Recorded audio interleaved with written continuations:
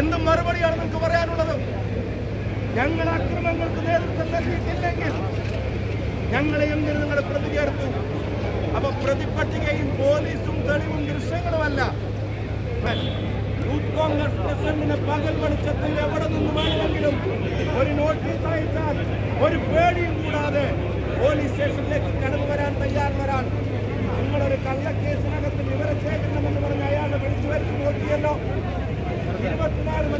Short notice ആയിട്ട് പോലും ഒരു മുൻകൂർ ജാമ്യം പോലും തേടാതെ അയാൾ നിങ്ങളുടെ സ്റ്റേഷനകത്തേക്ക് കടന്നു വന്നല്ലോ.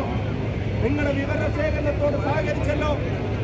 അയാൾ ഇവിടുന്ന് ഒളിച്ചു നടന്നോ? അയാൾ ഇവിടുന്ന് മുങ്ങി നടന്നോ? അയാൾ ഇവിടുന്ന് രാജ്യം വിട്ടോ? നാട് വിട്ടോ? തിരുവനന്തപുരത്തുണ്ടായിരുന്നു കണ്ടോൺമെന്റ് പോലീസ് സ്റ്റേഷന്റെ പരിധിയിലുണ്ടായിരുന്നു.